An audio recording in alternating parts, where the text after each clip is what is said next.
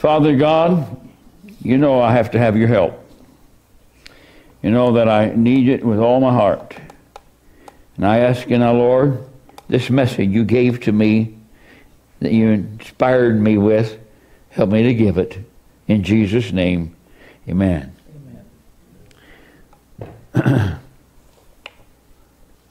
my custom, whatever, I get up early. Always have. So up there, I would get up early and I would sit in the living room and read.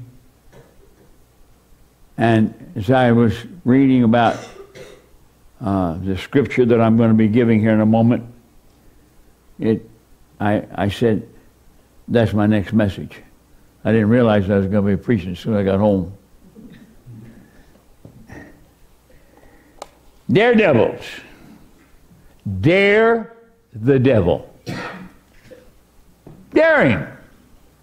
Say, come on, man. I want to prove to you in Jesus' name that my God can handle everything that you may throw at me. Now, if you're defeated, then you just let him win.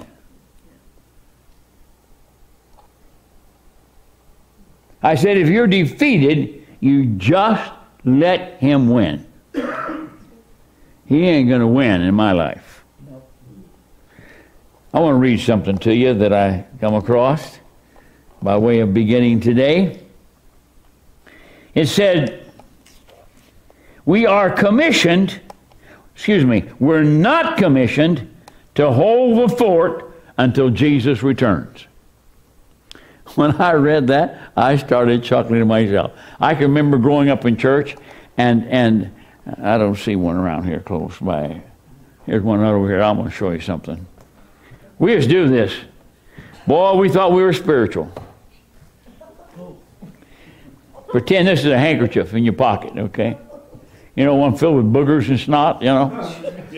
You ever seen one like that, you know? Yeah, you don't carry it around just to wipe your head. You know what I mean? And so they'd come up, and they somebody now, let's sing Hold the Fort. Boy, that was a boy, that was a Zim boom banger. Man, people get that. Now then, you got to get your handkerchief out, they'd say, and wave it. So you get that nasty old handkerchief out there, and you go, Hold the fort, for I am coming.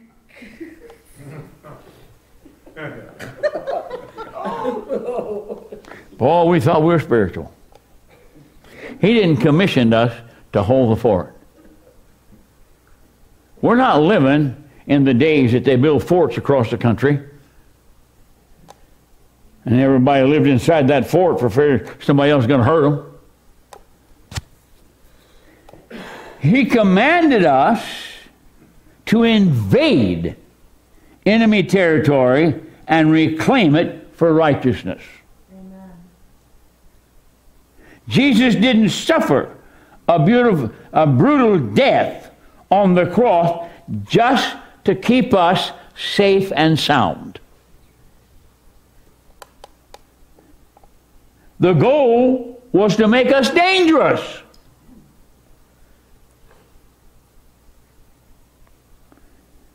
He died to make us daredevils.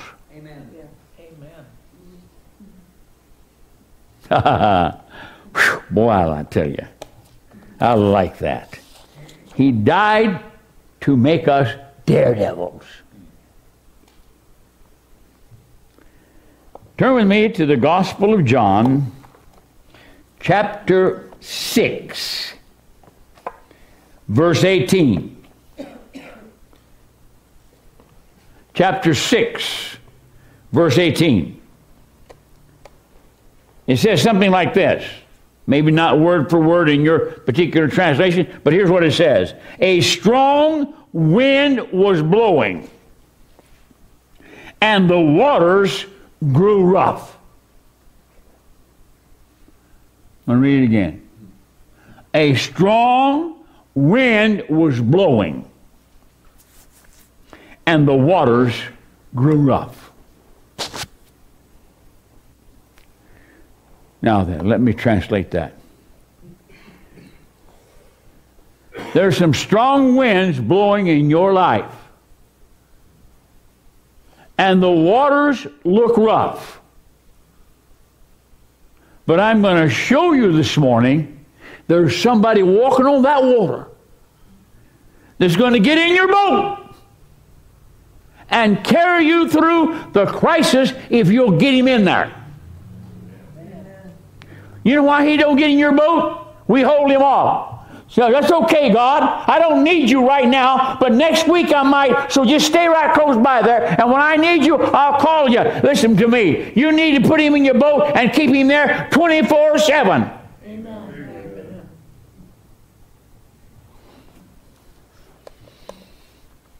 Let's look at the conditions of this particular verse here. On the Sea of Galilee, because of its location, I've been there, seen it, been on it. The wind can come down through the Jordan Valley, and the waves in that small sea can rise anywhere from 5 to 20 feet tall. This is an enclosed sea now.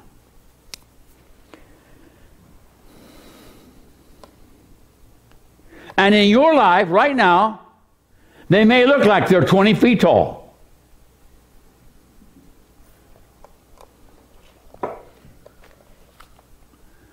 Or they may only be five feet tall. And the wind may be blowing. I don't know if you've ever been in a real windstorm.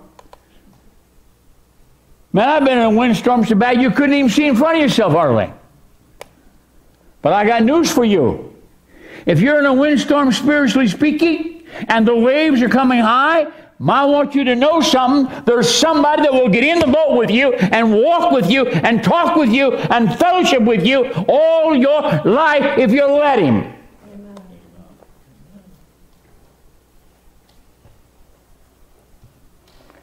You may be facing some crisis. I don't know what you're facing.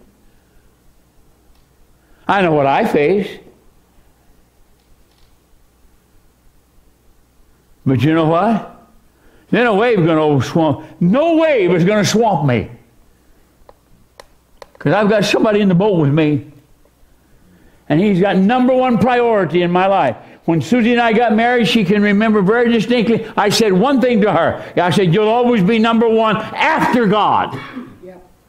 I don't know any other way to go. In my in our finances, if we're blessed, tithe comes out of it. If we're in a crisis, we go to Him. If we're gigantically blessed or small blessed, we give all the glory to Him. Because He's number one. He's in our boat. He's watching us. He's caring for us. He's keeping the waves from swamping us. Do we have the waves? Oh, yeah. We've got the waves. A whole bunch of them. Yeah, we do. If you walk in public life, you're going to have some waves. Look like they're going to overwhelm you. If you have children, you're going to have some waves. If you're by yourself, you're going to have some waves. But I got news for you. Keep him in the boat, and you can make the wave. Sea of Galilee. It's seven and a half miles wide. Now, this is important. It is 17 miles long. And at the deepest point, it's 157 feet deep. Now, picture that. I don't know how big Hagg Lake is, but picture Hagg Lake in your mind for a moment. And what if a wind came down that canyon and you're in a boat now, the Bible says they had gotten in a boat and they only rowed about three and a half feet away from the shore. And all of a sudden, these gigantic waves. Were they five feet? Were they 20 feet? I don't know. But they were big. They were big to those guys, and they were experienced fishermen.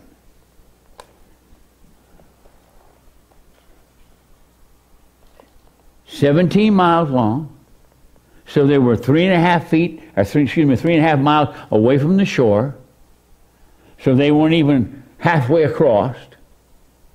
So we got to see seven and a half feet wide, or miles, excuse me, and 17 miles long, and all of a sudden there's a storm. Now, they were there in search of Jesus. He had left them, and so they were going over the other side, perhaps to meet him. So maybe they're walking in obedience or whatever. But they had been with him, they knew about it. In fact, in John 6, verses 1 through 13, they had witnessed a miracle second to none.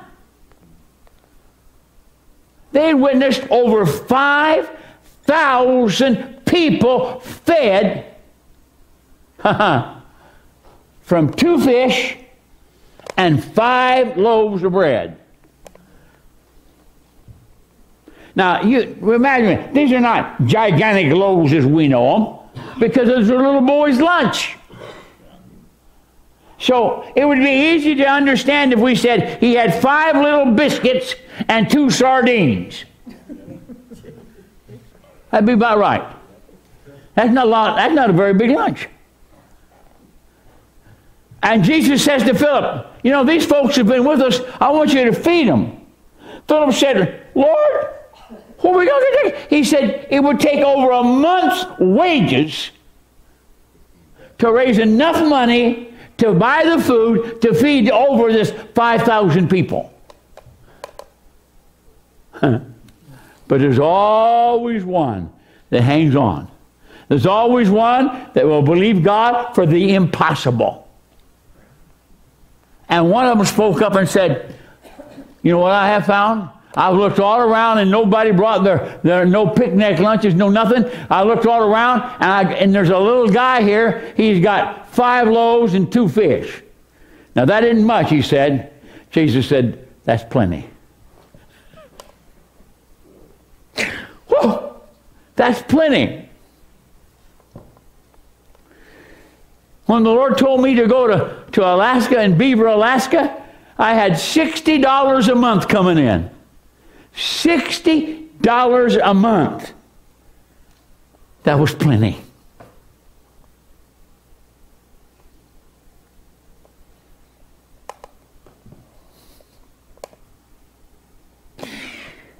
When they got through, after Jesus began to bless it and give it out. Now they'd been witness, they'd seen this. These same 12 guys in his boat, rowing like crazy, going across, and the storm comes up, and they're all nervous about it. They had just witnessed 5,000 plus fed from a boy's lunch because they saw 12 baskets left over. Amazing. He said, I don't believe it. I do because it's in this book. And man, if it's in this book, I'll believe it. Lock, stock, and barrel.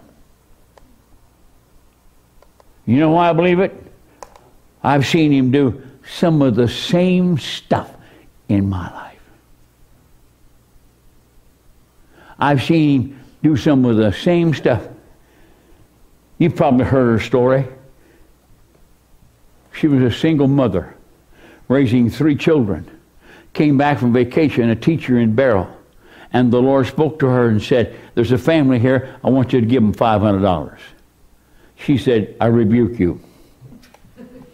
She didn't say it exactly like that.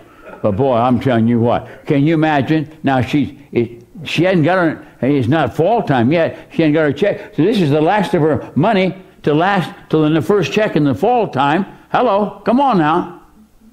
And the Lord says, "Why don't you give five hundred dollars to those people over there?" Huh.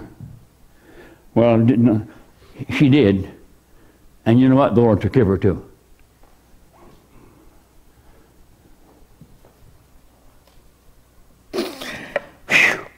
They're in the middle of the sea, three and a half miles out.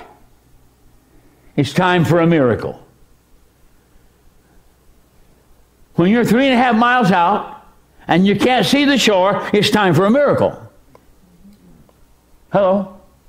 When you've prayed and prayed and read and read, it's time for a miracle. Get ready for a miracle.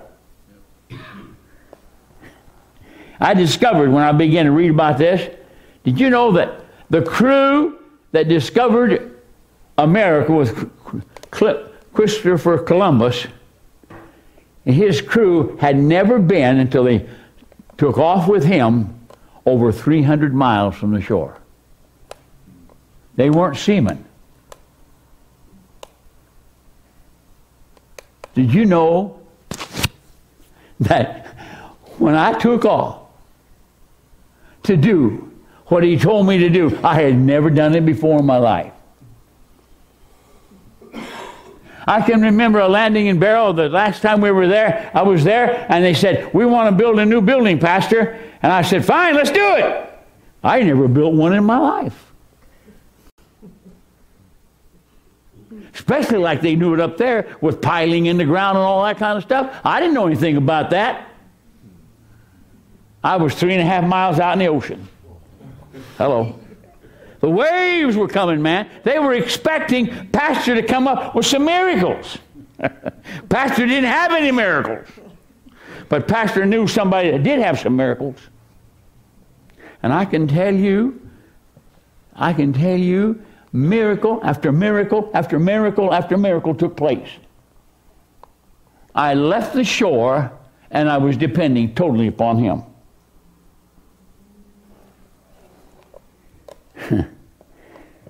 Whew, man, it's time for a miracle. The waves are rolling, rocking. The boat, they're scared to death. And Jesus appears. Did you ever notice something about Jesus?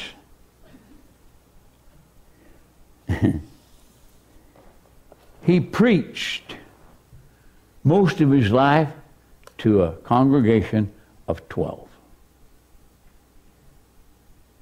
Well, we had his big times when the crowds came and healed the sick and they would fall. But you know what? His big, his most of his ministry was at night, off the way to 12. Mary's, it's amazing. Jesus appears walking on the water, and you know what? He wasn't interested in publicity. Not at all. He, he, he didn't give his name was in. Jesus of Nazareth was here. That wasn't important to him. He said, I came to do the will of my Father. You do the will of the Father, and I have news for you. They may not publish your name on the billboard, but you'll be known. we leave that one there. He was the master daredevil. 40 days and nights he fasted, and the devil appeared. And who won? Jesus did. He came across a young man that was bound by 6,000 demons. He said, What's your name? He says, Legion. Why was it Legion? Because he had, was, they said that because 6,000 in him, that's the size of an army in that day. Jesus came against 6,000 demons.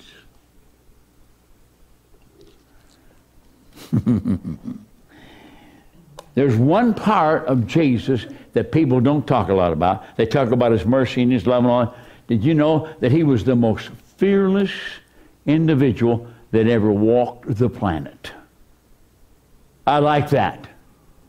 The most fearless person that ever walked the planet.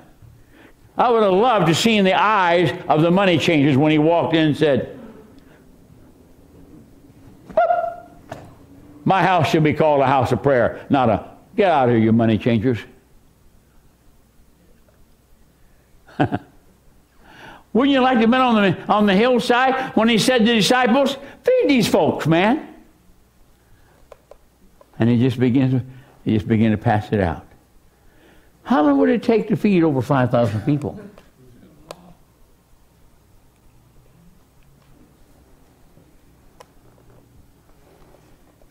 The fearlessness of this man is the most overlooked part of his personality. I read someplace that you're born with two fears.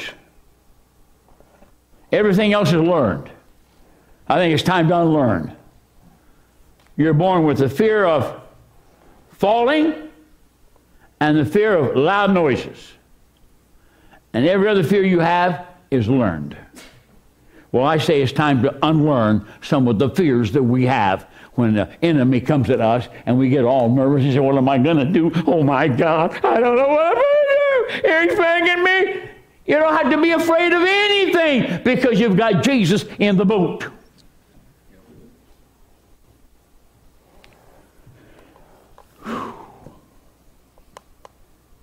Look at verse 20 and 21 of the sixth chapter. We're going to read that one. We need to read that. Here's what he says. Now, now we've seen the picture. Three and a half miles out. Looks like the waves are going to swamp them. These are experienced people. They knew all about boating. They knew all about fishing. They knew all about the Sea of Galilee. They lived on the sea. Now they're afraid. Because gee, the reason I know they're afraid because of what Jesus said to them. Verse 20. He said, He called out to them. In fact, verse 19 says they were terrified. Terrified. So it must have been a storm like they'd never seen before. I've seen a few of those. Yeah. I'll never, ever, ever forget. In fact, Regner, when he was here, we were talking about it. The very first person the Lord called upon us to pray deliverance for. Young, just a small lady. And her husband brought her to us to pray for her. He said, Man, she needs help. So I said to this young lady, I said, In Jesus' name, Satan, you're going to come out of her. And the most hoarse voice said, no, I won't. And I'm going to tell you at that point, I was ready to bail out of the boat. I was scared beyond words. But instantly I realized who was in the room with us, and I said, In Jesus' name, yes, you will. She left delivered. Was it Pastor? Was it Regner? Was it the other? Was it her husband? No. It was Jesus in the boat. Man, when he's there, don't have to worry. All right, verse 20, here we go. I'll get to it. Don't be afraid. I am here. Hallelujah. I am here. Then, verse 21, they were eager to let him in the boat, and immediately they arrived at their destination. Now get that. They're three and a half miles out. It's 17 miles. So they're only a partial way. And immediately when he got in there, they were there. You talk about a jet propelled. A jet boat, man. Whoa! They're there. You know why?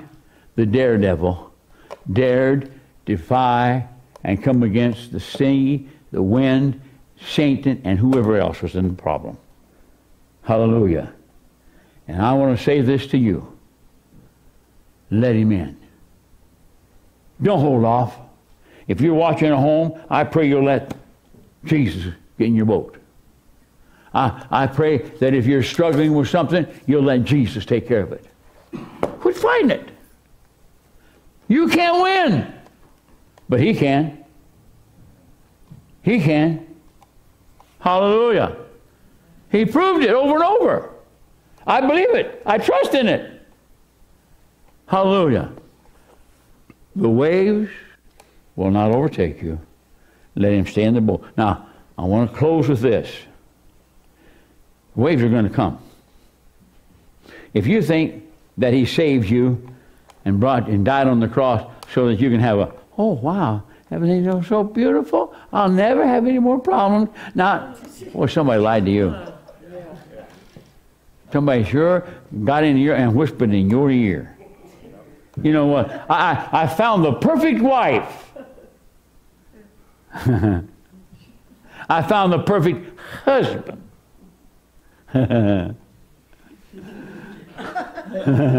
Isn't that wonderful? I'm sure glad you did. Hallelujah. So did I. But did you know what? She found the perfect husband. Yeah. But every now and then, a flaw comes up. Yeah. A little hidden wave that she didn't know about. Hello. Some little something might happen. And you know, and, and, and it's you. Oh, I won't go there. I'd, I'd love to talk to you about that one. But if Jesus is in the morning, in the home, you can come through it. Hallelujah. You can make it on through. Just keep rolling. Just keep rolling. Hallelujah.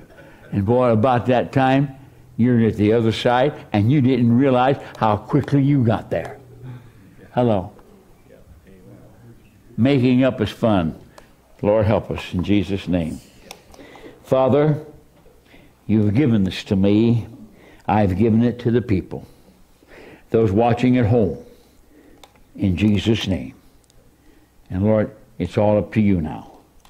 I have been obedient. I didn't let anything stop me. Now it's all up to you. You're in charge.